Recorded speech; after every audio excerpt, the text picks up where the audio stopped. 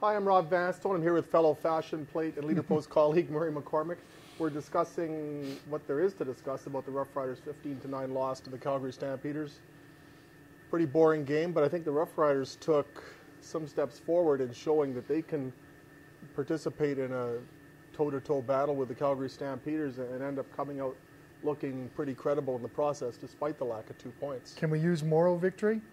It's not two points, Yeah. but it's a moral victory. Like There's some solace in, in the way they played. I thought, I I didn't know what to think. I thought if the Riders played up to the level they had before this game, they could give Calgary a good run and possibly beat them. And then the same, if Calgary plays up to the level it could, it could stomp them. So they kind of Calgary, Calgary didn't have a lot of finish today. They didn't seem to have their their offense working the way. Mind you, they got five field goals, which was enough to beat them. Because you think if you hold a team to 15 points, you should win, especially the way that offense is going. So I'm kind of mixed. As if say, moral victory, we hate them, but considering when they were the last one to play the Stampeders, they've made huge strides. I Defensively, anyway, the offense, The was, offense was pretty awful. awful, yeah. Uh, Brandon Bridge gave them some life at the end. Kevin Glenn didn't have a chance to give them any No. life.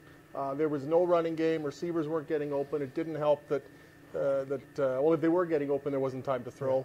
Uh, Naaman Roosevelt being injured and taken out of the game that was a factor. There just wasn't much there. What does Calgary's D line have against the Riders' offensive line? They just Micah Johnson, Charleston Hughes, but and that guy DeGra- Davis, I think his name is. They Sorry. just mauled them. just yeah, it was just. And the thing is, offensively, Dan Clark comes back this week off the injury list, and what do you do now off of that for us? Because the line had been pretty good in his absence. Do they make a change? Do they keep the way things are? But give it to Calgary's defense. That they won it in the trenches, and it just permeated through the whole offense. And Kevin Glenn is not a guy that's going to run on the throw on the run and find all sorts of openings. He's going to get in the pocket. He's going to make the passes, and he had a bad game. I think. I, I don't think his hand was an issue. I think he just had one of those games that Did he have a chance to have a good I game? I don't think he did. How often was there time?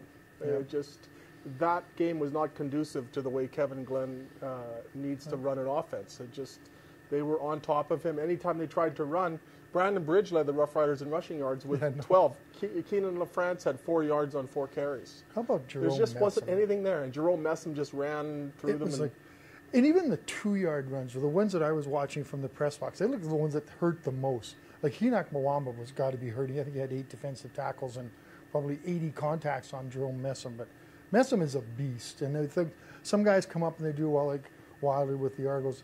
Messam still, I think Messam is the measuring point of where a running back needs to be from blocking, power, dominating the game, and he dominated the game for the Tiger, the Stampeders tonight. I think both both lines, the Calgary Stampeders were the superior team, and Well, as a result, they were superior by a 15 to 9 count. For Murray McCormick, who's superior to me in terms of wardrobe, I'm Rob Vanstone. Thanks so much for your time today.